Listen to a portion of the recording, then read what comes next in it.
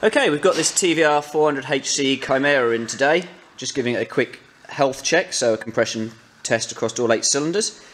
This customer's quite local to us. He's doing a bit of a rolling restoration. The body's been off and the chassis has had a refurbishment done to it.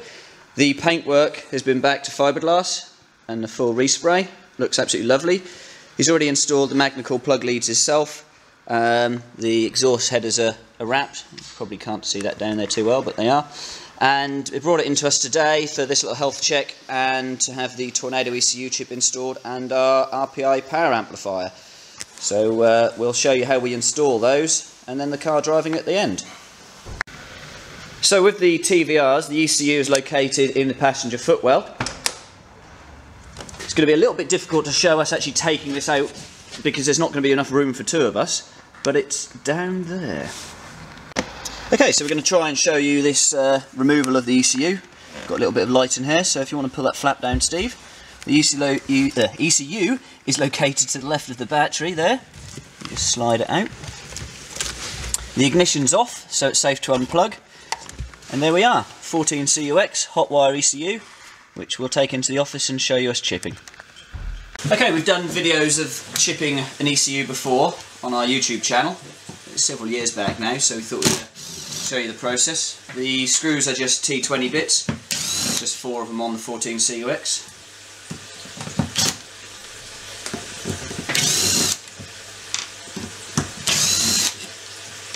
Then removed, we can pop the ECU open. And this is the ECU chip we're going to be changing. And then here you can see the small square chip with the MVA number on, which we reference to uh, to know the software type for the ECU chip. So I'll zoom in on this and uh, I'll show you how we, we change the chip. Okay, so sometimes these chips have a plastic cover over them. Uh, this one doesn't though, so we haven't got to worry about that. To remove the chip, we want to remove it nice and squarely. Um, I have got an ankle earth strap on. I didn't want one on my wrists because it'll just get in the way up in of the video. So uh, what we do is we just put a screwdriver in between the chip and the socket, just rotate it very slightly, and then turn around to the other end and do the same again and again and then we should nearly be there.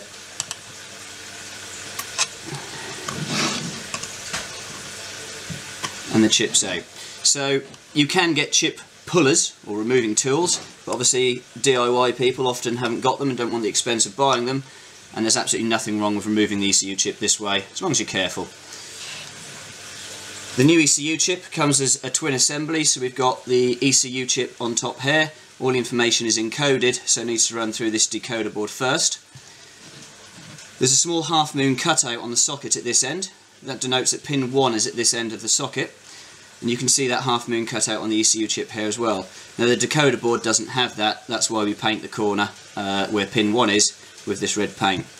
So place the chip in position, don't push it down yet though and just double check that all the pins are lined up and then push it down nice and squarely.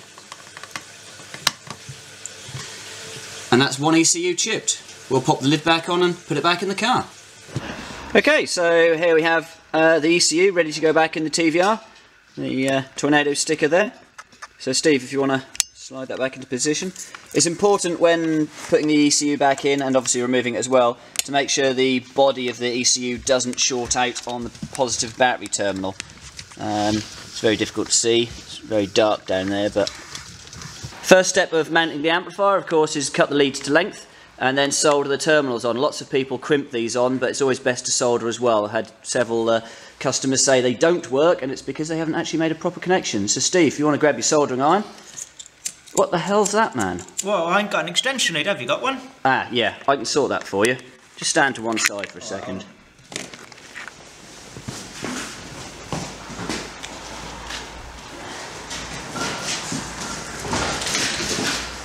It's gas powered as well, Steve. Oh, right. Yeah, that'll do.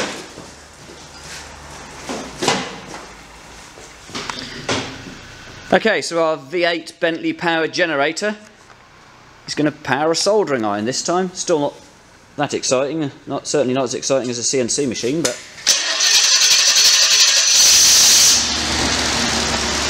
LPG tank. servo's now working and controlling the RPM. Coming across to the generator.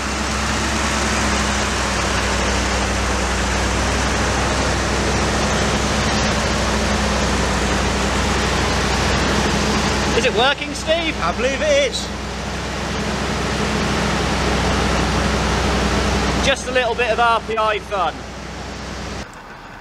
Right, we've got the amplifier installed. We've made a nice little bracket here, uh, mounting to the coil bracket up here, and the previously made bracket for the fuel pressure regulator.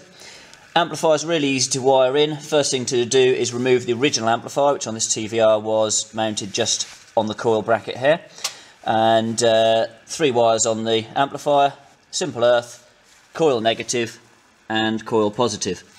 And then the fly lead here, which is shielded, just goes down to the distributor plug and is fitted as per the instructions that we send out with the amplifiers. So uh, new coil installed as well. And uh, now we'll go out for a road test. Okay, so we're out in the Chimera after the chipping and amplifier has been installed. We're just going to show you a little video uh, similar to what we did in the 5 litre. Uh, rather than pulling first all the way to fifth though, we're just going to go first to fifth. So Steve, if you want to pull away in first gear, we'll get to about 15 miles an hour. Zoom in on the speedo there. And then grab fifth. And again, everything's nice and smooth, we're accelerating. And away we go.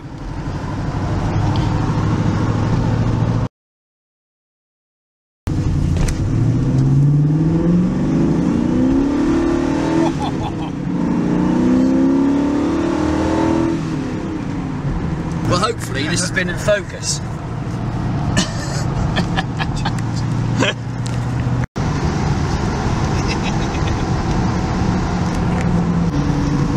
Happy with that then? Not too shabby.